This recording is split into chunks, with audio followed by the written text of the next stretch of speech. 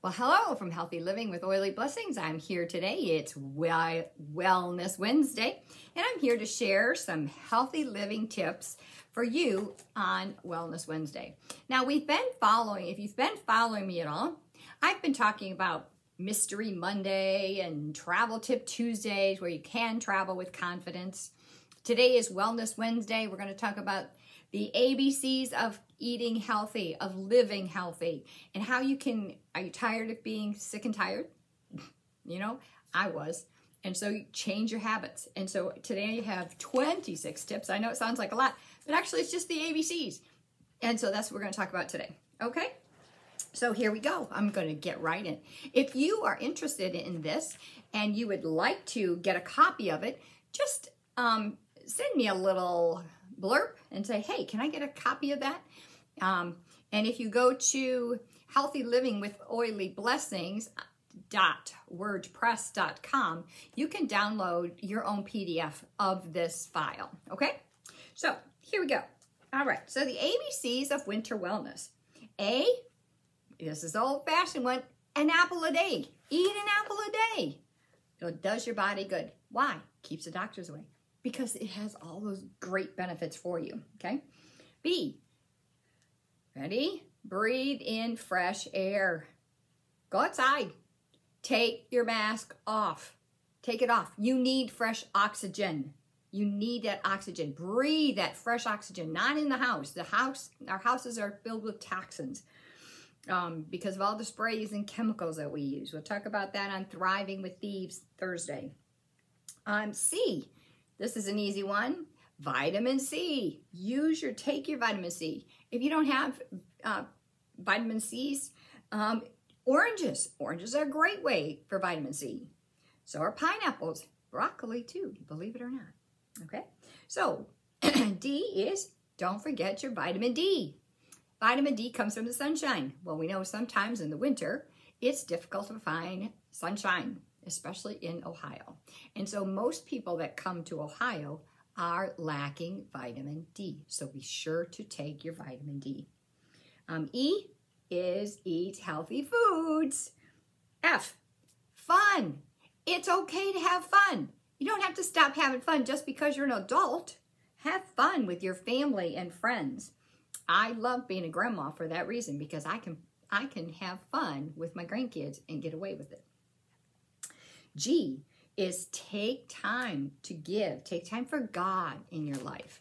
You know, grandkids, that's another one. Boy, I tell you what, there's nothing that fills your heart more with joy than your own little grandchild. Um, and if you don't have any grandkids, so adopt a family that can that can become your grandchildren.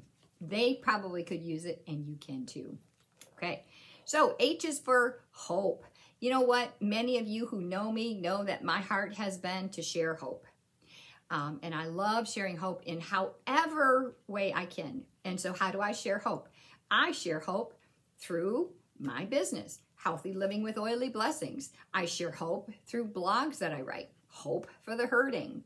I share it on um, several blogs, actually. I have Hope for the Hurting and um, Hope for the Hurting 2017.wordpress.com. Um, and I write about health because you know what? Our bodies are uniquely designed so that we are all work together. Our body, our soul, and our mind all works intricately together. And and if one is out of whack, then guess what? The other one's out of whack. And so we need to make sure that all of us are all the way around aligned. And that's why I share about hope for your body, your mind, and your soul. Hope for the Hurting talks about our soul, lots and lots of things about our soul. Um, healthy living, this is what I'm doing here, talking about healthy living, healthy, a healthier lifestyle. We can choose a healthier lifestyle, or we can choose to be sick and tired all the time. It's up to you. It's your choice. Um, I love to be able to share that hope. And, um, you know, what is hope? What is hope?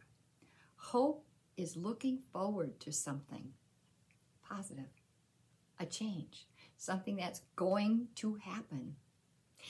And what can we hope for? Oh my gosh, there's so many things. This year has been one of the most trying years of all times.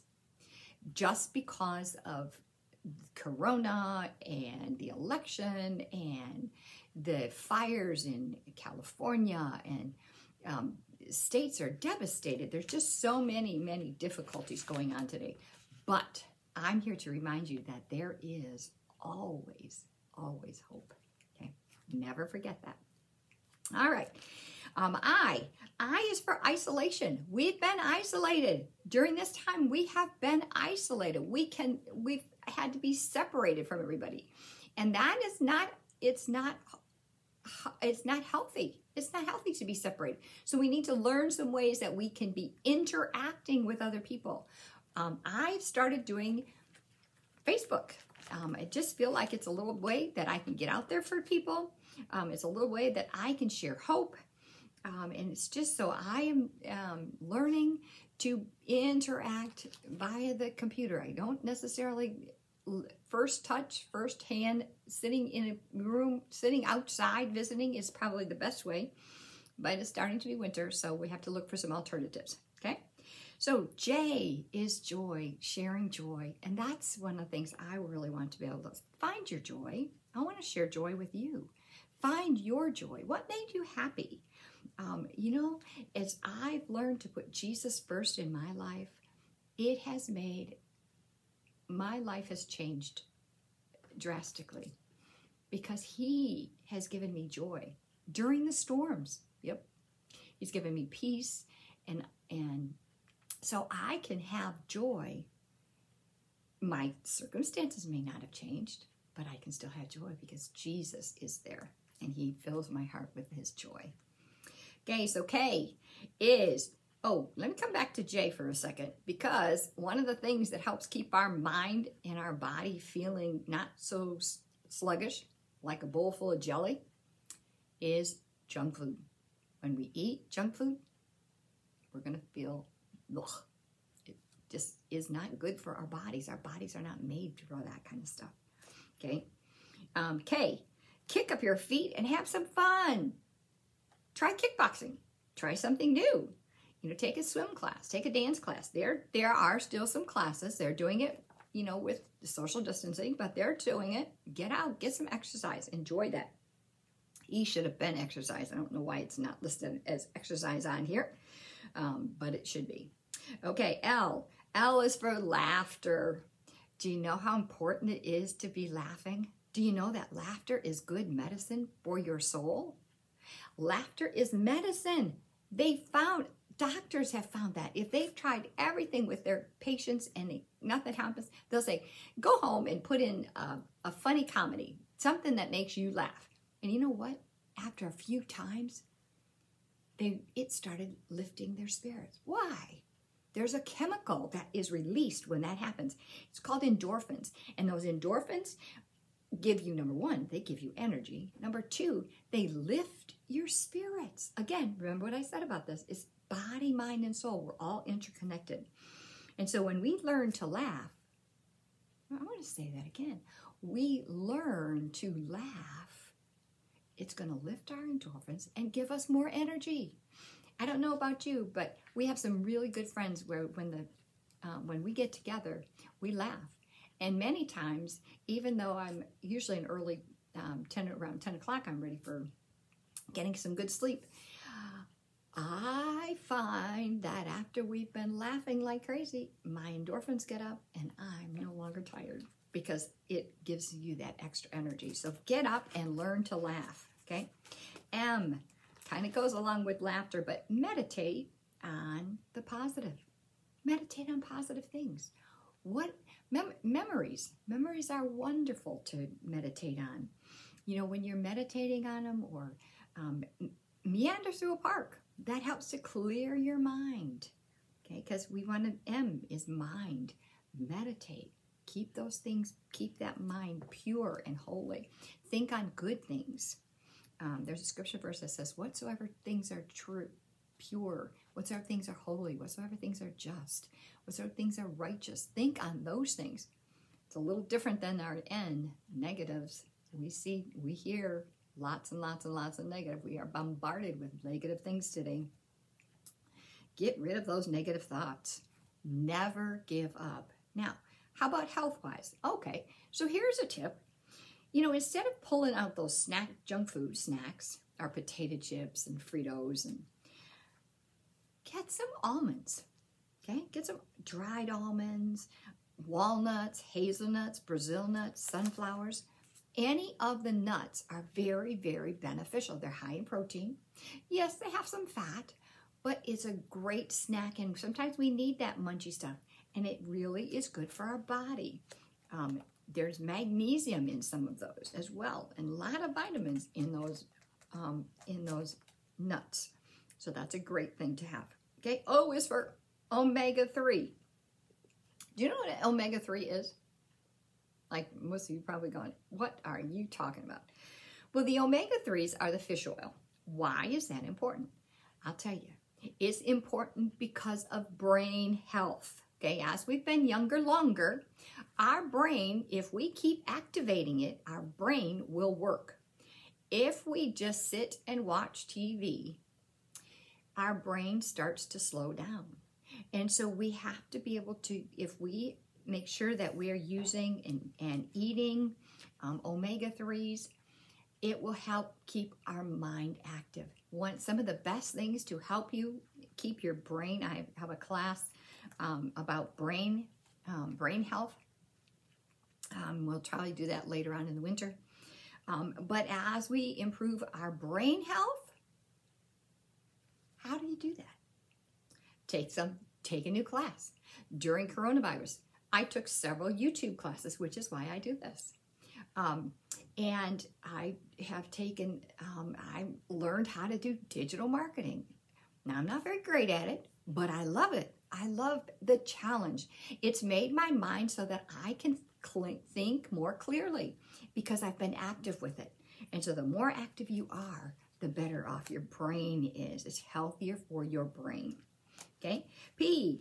Oh, P is for photographs. Do you know one of the best ways to get rid of your sadness when you're missing family, like during this isolation time, is put together a scrapbook.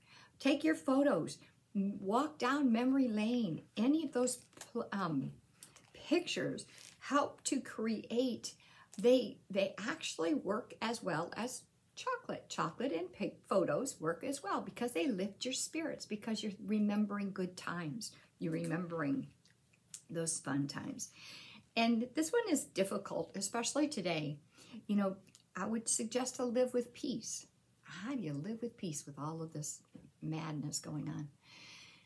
Well, that's what you have to kind of find. You have to find your peace. Now, for me, I really get my peace from the Lord. Every morning, I um, am with the Lord and I take my frankincense and I um, enjoy my devotional time, and He fills my heart with peace.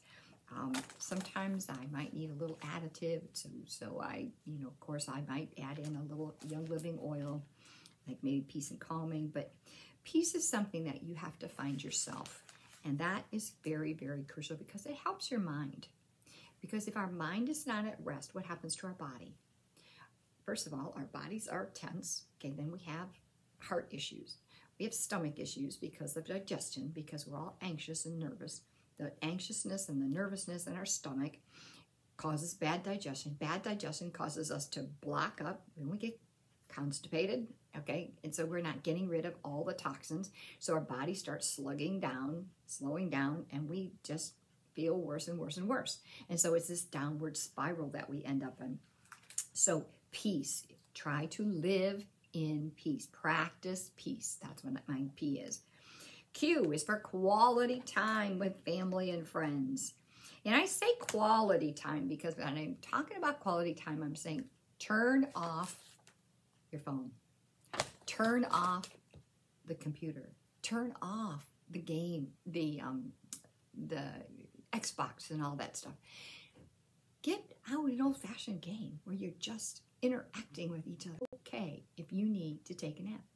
I usually will take, I like to take a power nap, maybe 10 minutes.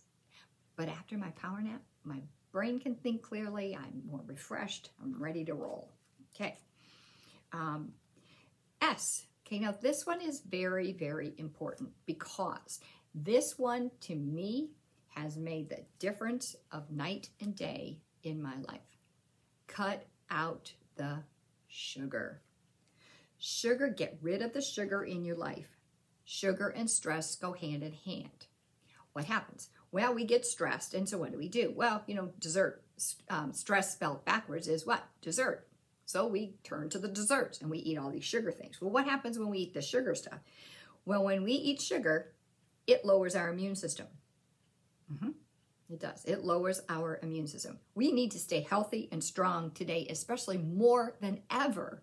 And so if we eat sugar, we're not going to keep our body up. Yeah, we might feel good for a minute, but our bodies are it is it lowers our immune system. So when we're bombarded with something that is outside like coronavirus, if we're bombarded with COVID and it's in the air, you know, um, and it our immune system cannot fight it off if we eat sugar. Okay, so I'm going to keep that's going to be so sugar kills our immune system. Do you know what else sugar does? They're finding many, many, many links. You're not going to believe me to sugar and cancer.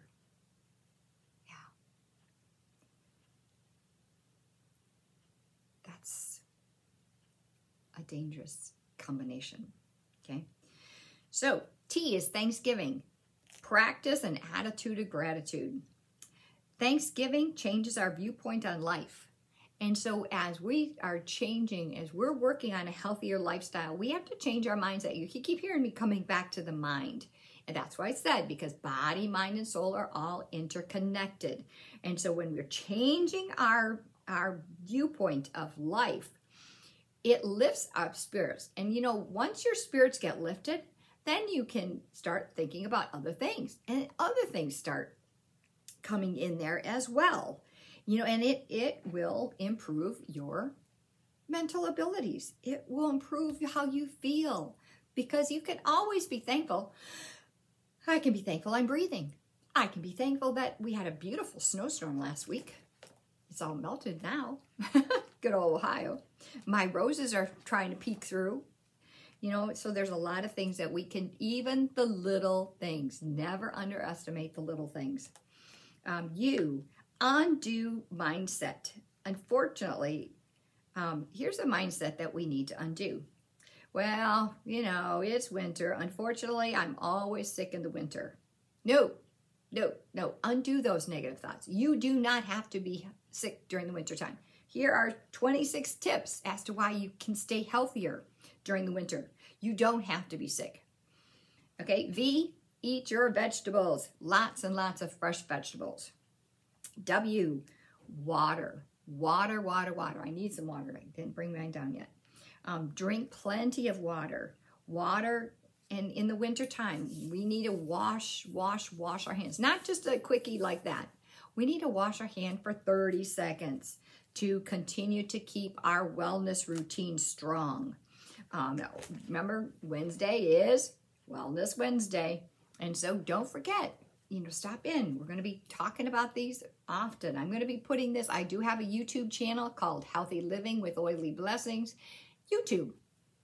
And so I will have, I have lots and lots of videos there. I have a lot of different kinds of videos. I have music videos. I have teaching videos. I have some of my videos that talk about different healthy living tips, um, including essential oils. Um, and, you know, I'd love to have you subscribe um, because then when I put a video in there, it will come right into your email. Okay, that's the best way to do it. Same thing with um, the WordPress. Hope for the Hurting 2017.wordpress.com. That one, if you go right into my WordPress, um, which is W, it will, and you subscribe, it will come right to your right to your email. It's so much nicer than trying to have to, oh gosh, I forgot to look. Um, oh, it's one o'clock. I forgot to get there. Okay. Um, I'd love to have you come in and join me, but so that was W. All right. So now we only have three left. E is, or oh, this is why. This is kind of E, exercise, but it, because it sounds like exercise, exercise every day. Do something. Do something. It doesn't matter what it is. Even if you get up and you walk across your room, if you can only walk 10 steps on the first day, then double it. Go 15 steps, go to 20 steps, and just keep upping the ante each day. Do a little bit. If you can't, if you're having trouble standing, pick up your leg. Pick up your leg, okay? Um, and just do those kind of exercises. Maybe you can just hold a can of soup in your arm, and like this. Pick up, use those cans of soup. Go to the gym. I try to get to the gym at least three to four times a week. Um, love getting that exercise outside. Walking outside is probably one of the best exercises. Clears your mind, gives you that oxygen that our body is lacking in our homes. Um, and it makes you feel better. Just being outside will make you feel better. So if you're weary and drug out and, and just don't have any hope, take a walk. And don't take your phone, leave your phone at home and listen. You might hear some birds, the wind. There's just so many things that you can can hear and see outside. Okay, so exercise. Why is you? You are the most important person of all. And so if you don't take care of yourself, what's going to happen in your family? You have to take care of yourself. So go out and do something that you enjoy. Something you've never done before. Okay? That's why I started this. That's why I've started. So as my story continues with the YouTube and the videos, um, I just wanted to do this because it lifts my spirits. It gives me something uh, concrete, something to do and keep my mind occupied, keep my mind moving. That way I don't focus on all those negative things, okay? The last one is zeal. What was your zeal when you were a kid? What were you zealous about when you were a kid? Return to that zeal. I bet you there's some things in there. I, as a kid, I loved being outside. I was outside as much as possible. When the street lights came on, we had to come in the house. That was my key in the summertime. But I was outside all the time. I loved art. You know, things haven't changed too much. I'm outside all the time. I love art. Although my art is a lot different, I, you know, with making cards and um, just creating. Now I'm a writer, and so I love writing. And so um, my zeal, I've gone back to writing, um, which is why I blog. Sometimes I wonder if anybody's out there hearing me. Um, or if anybody is even seeing my Facebook posts, I'd sure like to know if you're listening or watching. So please, please send me some comments. I need to hear some input.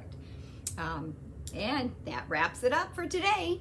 That's our final one, A to Z Healthy Living Tips with Laurel. Thank you so much for joining me today. I'm so glad you did.